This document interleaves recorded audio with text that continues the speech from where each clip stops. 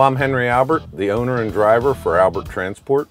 I've been an independent owner-operator since 1996, and I've been a driver since 1983. To me, it's an office job with the best view in the house.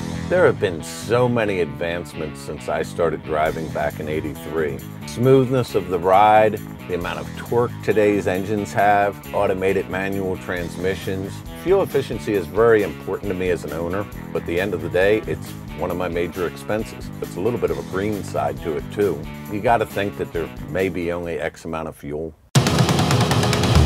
In my 2018 Freightliner Cascadia, I have adaptive cruise control, predictive cruise control.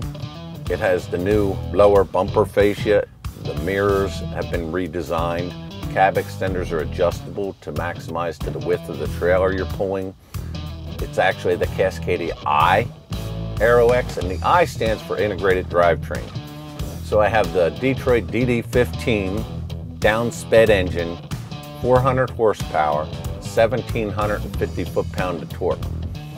And that torque maximizes in around the neighborhood of 975 RPM. The gears in the new DT12 transmission have been micro-polished to further reduce parasitic drag.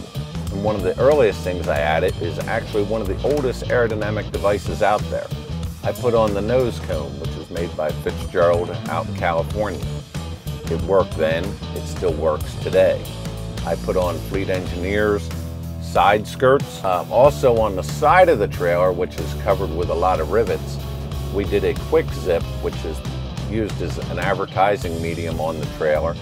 And it's pulled real tight, almost like airplane wing fabric. No rivets, it's smooth. A trailer tail by Stemco on the rear. I relocated the trailer license plate. Well, the trailer license plate is many times mounted right below the tail lights and also right in the airstream.